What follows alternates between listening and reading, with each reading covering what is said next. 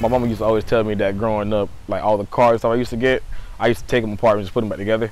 So I guess that like ties on to what I was doing with the bikes. So like ever since then, then I seen the videos on YouTube, started trying it, doing my own thing. And since that, I just became like interested.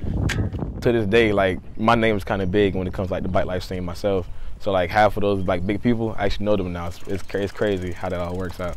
According to other people, I was I was good from the jump.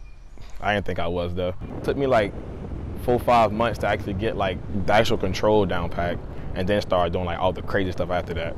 People, other people say it took them like a couple years to even learn how to pick the wheel off the, off the ground. I'm looking like, oh, sheesh. I don't smoke or drink, so that's like my natural high type thing. Like other people, they might skydive or something like that. I ride the bike. if I'm not at work, I'm on my bike.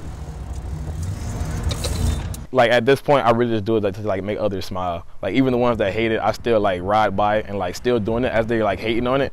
I like start messing with them, so like they it's like they eventually crack a smile. Certain people they hate it, some love it. Even the ones that hate it, I make them love it. At this point, I'm just I'm like I'm a professional who who just doesn't get paid yet.